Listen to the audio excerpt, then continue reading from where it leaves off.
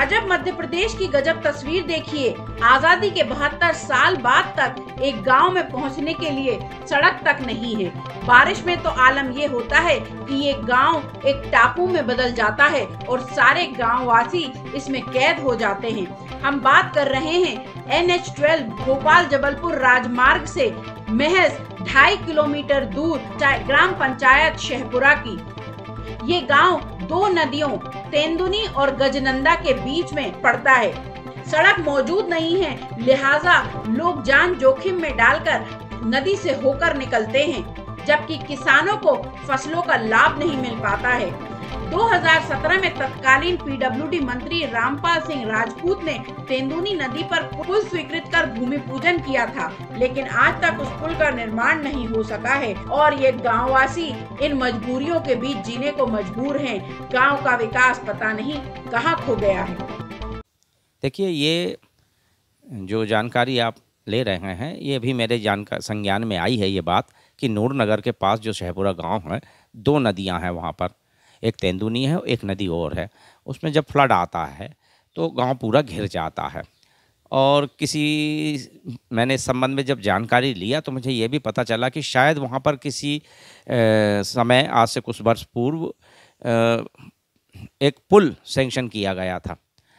लेकिन किन कारणों से वो कार्य प्रारंभ नहीं हुआ उसके संबंध में आज मैंने S D O P W D Shri Natin Patel Bareilly और ब्रिज कारपोरेशन के श्री श्रीवास्तव साहब एस जी से जानकारी ली। उनका कहना था कि कुछ समय पहले कुचवाड़ा से पिपलिया तक के एक ब्रिज सेंक्शन किया गया था। किन्हीं कारणों से उसका काम शुरू नहीं हो सका। मैं प्रयास करूँगा कि इस संबंध में श्रीमान कलेक्टर महोदय के संज्ञान में बात लाई जाए कि जल्द शीघ्र से शीघ्र वहाँ व्यवस्था हो। लेकिन तात्कालिक तौर पर बाढ़ के समय ग्रामवासियों को परेशानी ना हो।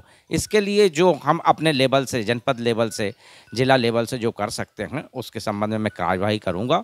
मैं स्वयं भी कल जाकर स्थल का निरीक्षण करूँगा और जो वस्तु स्थिति रहेगी, उससे जिला प्रशासन को अवगत करा के और शीघ्र से शीघ्र ग्रामवासियों की समस्या का निराकरण करने का हम प्रयास करेंगे। बरसात के समय तो हालात इतने बदतर हो जाते हैं कि ये पूरा गाँव ही चापू में तब्दील हो जाता है।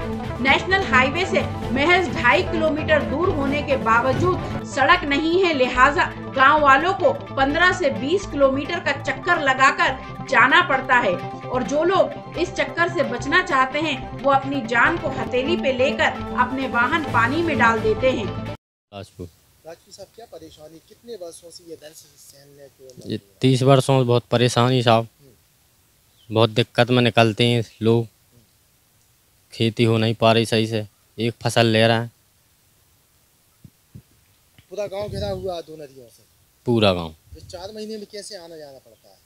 सर वो तो नदी घेर का जाना पड़ता है वो तो। कभी कभी पानी में से निकलना पड़ता है? पानी में से तो रेगुलर जाना पड़ रहा खुर्च रुपया जाना पड़ता है। सुना है कि आपके यहाँ पुल भी बनने वाला था? जी। फिर? मन वो पुल ऐसा ही चार सालों से पड़ा है पेंडिंग में। नहीं बन नहीं बन पा रहा। क्या नाम है आपका? कौन से गाँव में रहते हैं आप? ग्राम से ये बताइए क्या परेशानी आती है आपको बरसात के समय में? बरसात के समय में ये परेशानी आती है अगर पानी गिर जाता है तो हम्म। घूम के जाना पड़ता है। हम्म। पंद्रह सोलह किलोमीटर का चक्कर लगता है। और ये आपका गाँव पानी में घिर जाता है दोनों हाँ, ओर से? तरफ़ नदी से घिर जाता है। फिर आप कैसे आना जाना होता है और? आना जाना क्या? नदी उतर जाती है जब आना जाना होता है। जान जोखिम में डाल के निकलते हैं आप लोग। ग्रामीणों की माने तो बारिश में उनकी ज़िंदगी जेल में बंद कैदी की तरह हो जाती है। ग्रामीणों को बड़ी उम्मीद थी कि 2017 में जब तेंदुनी नदी पर पुल स्वीकृत हुआ था तो उनकी ज़िंदगी में कुछ बदलाव आएगा। लेकिन आज तक उस पुल को बनाने के लिए कोई ठेकेदार यहाँ नहीं पहुँचा। विश्वनाथ सिंह। ये कौन सा गाँव आपका? गाँव सेहपरा है ये। बताइए कितने वर्षों से ये आप दंश झेलने को मजबूर हैं यहाँ गाँव में? ये मेरी उम्र इस समय सड़सठ साल की है। ये बहुत पुराने समय से ही झेल रहा है ये परेशानी दोनों तरफ़ नदी है। बरसात के समय तो गाँव डूब जाता होगा। बरसात के समय गाँव डूब जाता है बाढ़ से ग्रस्त हो जाती है। फिर आप खेतों खेतों तक कैसे जाते हैं? आने जाने का कोई साधन नहीं दोनों तरफ़ नदी है घर पे ही रहती है फिर। खेत नहीं जा सकते। अच्छा फिर ये बताइए उदयपुरा कितने किलोमीटर पड़ता है यहाँ से? उदयपुरा यहाँ से तेरह किलोमीटर है। नदी क्रॉस करने के बाद रोड पे पहुँच जाते हैं आप लोग? नदी क्रॉस करने पे के बाद ही रोड पे पहुँचते हैं वो दिक्कत आती है रोड पे नहीं पहुँच पाते। आपके नदी का पुल?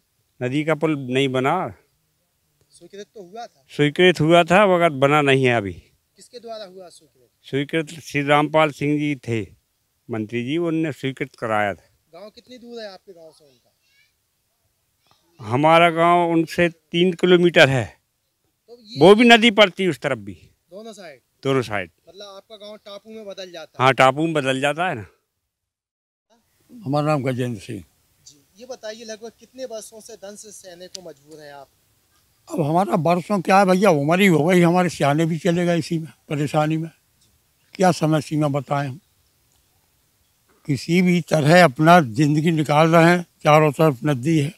जरा सड़क से जोड़ना पड़ता है तो पता नहीं कितना चक्कर दे के बरसात तो जामा ही है। सूखे में ज़रूर थोड़ा चले जाते हैं। तो खेती किसानी कैसे कर पाते होंगे दोनों साइड नदी है? कुछ हो रही है कुछ बिगड़ रही है। किसानी का पूरा पूरा लाभ नहीं ले पाते। नदी क्रॉस करके जाना होता हो घटनाएँ भी होती बरसात में तो जाना बड़ा मुश्किल होता है। अभी अभी थोड़ा रोड सैंक्शन कर दिए थे पुल सैंक्शन हुआ था रामपाल जी के द्वारा कोशिश करके। वही शासन की तरफ़ से पढ़ने का कोई सुनवाई नहीं है कोई सुनने वाला नहीं है। चार महीने में स्कूली बच्चे कैसे परेशान जाते हैं? हर, हर तरह से विकास रुका हुआ है हमारे गाँव का। हर तरह से। माननीय मंत्री जी का गाँव भी लगभग पास में ही है। लगभग तीन किलोमीटर उत्तर में। तीन किलोमीटर वहाँ भी मुश्किल है बीच में नदी है। मतलब आपका गाँव पूरी तरह से है। बिल्कुल घिरा हुआ है क्लोज है कोई विकास नहीं हमारे यहाँ। नदियाँ से घिरा है? हमारे दो तीन नदी है। घिरा हुआ है।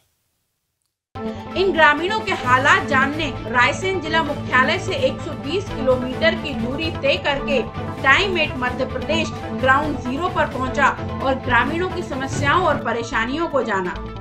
जब इस बारे में प्रशासनिक अधिकारियों से बात की गई तो तहसीलदार साहब बोले कि अब मामला मेरे संज्ञान में आया है, प्रतिवेदन बनाएँगे और ये प्रतिवेदन कलेक्टर रायसेन को भेजा जाएगा। जेल और गाँव में रहना बात एक ही है। दोनों कंडीशन यही ही आप ये बताओ कि घर में राशन भी खत्म हो रहा है तो उसके लिए लाने के लिए रास्ता नहीं है। कहीं से कहीं तक रास्ता नहीं है। और ये इधर पीडब्ल्यू विभाग के ठाकुर रामपाल सिंह जी का गाँव है, इधर से तीन किलोमीटर की दूरी पर। मन उस साइड जाने के लिए, चार महीने के लिए हमें बहुत ये समझ लो आपकी जान जोखिम में निकल के ही जाना पड़ता है इधर से। ये पीछे आपकी जो नदी है वो ये पीछे नदी है, यही नदी की बात बात कर रहा हूँ मैं, सर। एक ये तेंदुनी नदी है उस साइड, ये अपना उदयपुरा साइड जाने के लिए। ये ठाकुर रामपाल सिंह का ही जब पीडब्ल्यू विभाग में थे, जब उन्हीं के उन्हीं के उसमें ये पास हुआ था ये रोड। आज तक चार साल हो गई, आज तक ना रोड का पता है, ना ठेकेदार का पता है, किसी हिसाब का पता नहीं है, सर। धन सहने को मजदूर मजबूर है। सरकारी बेरुखी और प्रशासनिक लापरवाही के चलते शाहपुरा के ग्रामीण पिछले बहत्तर साल से किन दुश्वारियों में ज़िंदगी गुजार रहे हैं, इसका अंदाज़ा आसानी से लगाया जा सकता है। ग्रामीणों को इंतज़ार है कि विकास का झंडा बुलंद करने वाले उनका विकास और उनके गाँव का विकास कब करेंगे। टाइम एट मध्य प्रदेश के लिए रायसेन से राजेश रजक की एक्सक्लूसिव रिपोर्ट।